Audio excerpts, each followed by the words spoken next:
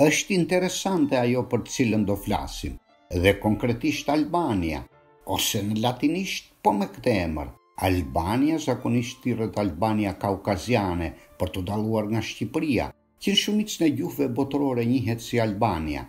Emri amtar i këtij vendi është i panjohur. Është emër historik për shtetet e Kaukazit Lindor, që shtrihen në territorin e Azerbajxhanit të sotshëm dhe pjesërisht në Dagestanin Jugor. Po çfarë janë këta banorë dhe cila është orgjina e tyre? Caucasian Albanians është një komunitet i lashtë i krishterë dhe nëse ky togfjalësh përkthehet fjalë për fjalë do të thotë shqiptarët e Kaukazit. Orgjina e këtij komuniteti, ku ndoshta duan të gjejnë rrënjë autoktone disa ish-shtete sovjetike, ka ndezur debate të ashpra mes tyre. Konflikti i njohur mes Armenisë dhe Azerbajxhanit. Por pretendime ka edhe Gjeorgjia, Kaukazian Albanians. Është gabim dhe ngatërresë e madhe nëse ky togfjalësh përkthehet shqiptarët e Kaukazit. Është e provuar shkencërisht se ne jemi autoktonë në Ballkan, pasardhës të pellazgëve dhe ilirëve. Para Mesjetës e quajtëm veten arbër, ndërsa pas epokës së lavdishme të Skënderbeut e deri më sot, njihemi si shqiptarë. Sikurse dihet që të huajt gjatë mesjetës e këtej na thrasin Alban. Ka debate edhe mbi origjinën e fjalës dhe arsyes se përse na thrasin ndryshe. Arsyen dhe kohën se pse ndryshuan emër nga ilirët në arbër dhe më pas në shqiptarë. As ne vetë nuk e dimë saktësisht. Madje as të huajt nuk e dinë se përse na identifikojnë ndryshe, pra me emrin Albania. Dhe jo Arbëri si dikur ose si Shqipëri sot. Të huajt me siguri fqinjët duhet të kenë shpikur një emër të tillë para mesjetës, për të ngatërruar me albanët e Kaukazit. Pra që origjinën e kemi andej. Çka përforcon ide nacionaliste të atyre që kanë pasur dhe vazhdojnë të kenë qëllime territoriale karshi trojeve tona. Madje si për habi kaukazian Albanians njihet si popull që ka ekzistuar nga bota sot, sepse këtë emërtim ua kanë vendosur historianët grekë. Vendet fqinje, Greqia dhe Serbia, sidomos rrymat nacionaliste të tyre që ushqejnë popujt me teza konfliktuale, duke thënë se shqiptarët kanë zbritur nga Kaukazi dhe sipas tyre i sollën turqit gjatë pushtimit të Ballkanit, në territoret ku jetojmë ne sot. Kanë ndezur jo pak konflikte në rajonin tonë. Presidenti i Azerbajxhanit është intervistuar personalisht edhe është investuar për të gjetur më saktë gjurmët e lashtësisë së këtij populli quhet albanians dhe pretendohet se ka jetuar në Kaukaz.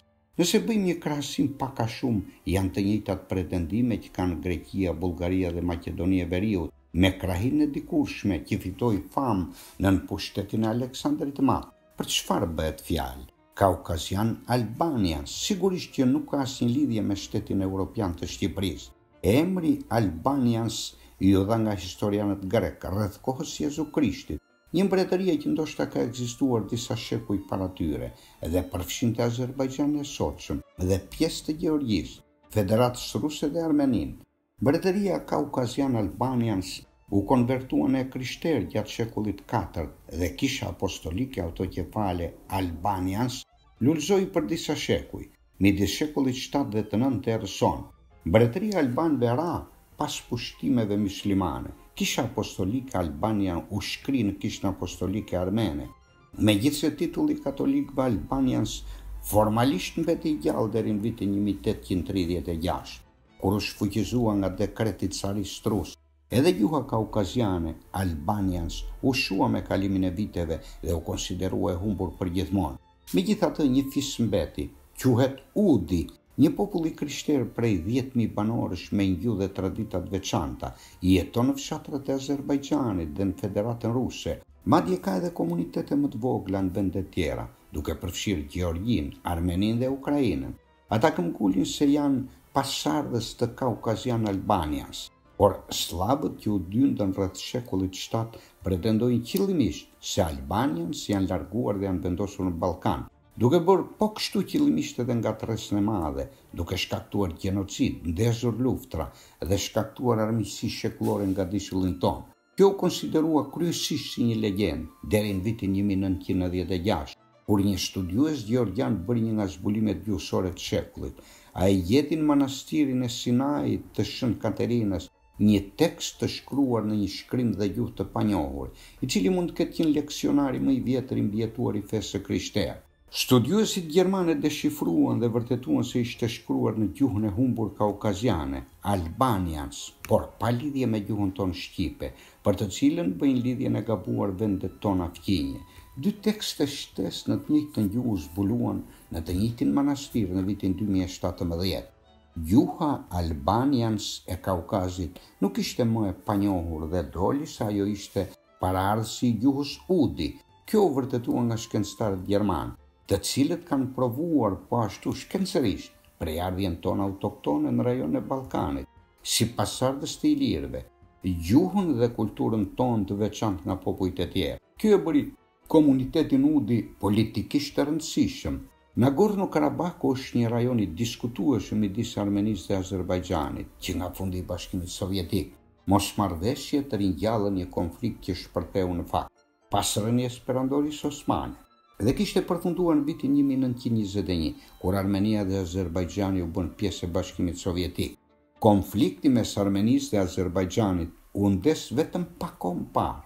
Edhe konfliktet historike mes shqiptarëve dhe serbëve, por edhe të fqinjit tonë jugor, për territore jo rastësisht janë ndezur pas rënies Perandorisë Osmane dhe vazhdojnë ende sot. Pas gjithë këtyre konflikteve, si në Kaukaz ashtu edhe në Ballkan, duket se ka një emërues të përbashkët.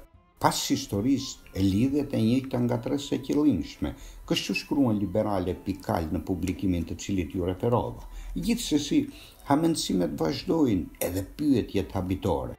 Përse përmendet në disa burime qoftë edhe historike? Cila është arsyeja për një popullsi kaq të vogël të gjejë vend në disa njoftime historike? Është një burim te Enciklopedia Italiane dhe më tej ndër studiuesit e kësaj treve, që hedh një dritë mbi errësirën e këtij fenomeni. Akademikët shqiptarë kanë heshtur thuajse, prandaj Pyetet nga studiuesit kurreshtarë, Që kur dhe nga është marrë emri Albania? Çfarë lidhje kemi? A kemi lidhje gjaku me atë komb që gjendet larg përmbi Kaukaz? Në një distancë kaq të largët, kush i krijoi këto lidhje? Përse studiuesit e kohëve të sotshme e përmendin jo pa qëllim, historianët e kohëve të lashta, si ata grekë, por edhe ata latinë? U kanë dhënë një vëmendje asaj popullsie të vogël në të gjithë atë lëmsh dheu siç ishte Europa. A mos vallë qëllimi është që të shërbejë tezës së sllavëve për Kaukazin si element i tretë etnik në krijimin e kulturës mesdhetare? Nëse shohim si e gjykojnë studiuesit e huaj që kanë shkruar mbi prejardhjen e këtij emërtimi, Atëherë mësojmë se Albania Zakavkazje ishte emri i një vendi mbi lumin Kir, mbi Kaukaz, në brigjet e Kaspikut, pak a shumë brenda kufijve të Republikës sotshme të Azerbajxhanit.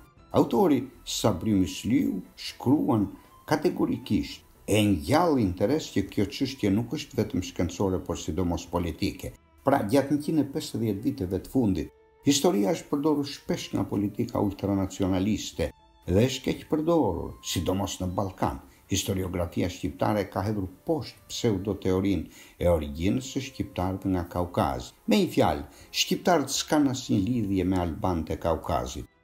Faleminderit!